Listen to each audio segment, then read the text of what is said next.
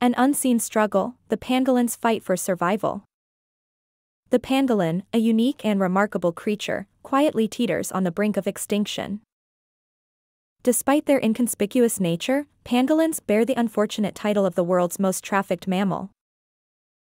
Their scales, coveted in certain cultures for their supposed medicinal properties, make them a prime target for poachers. But without these protective scales, pangolins are susceptible to threats like predators and harsh climates. Conservation efforts are underway, but the path to recovery is long and arduous due to their elusive habits and slow reproduction rate.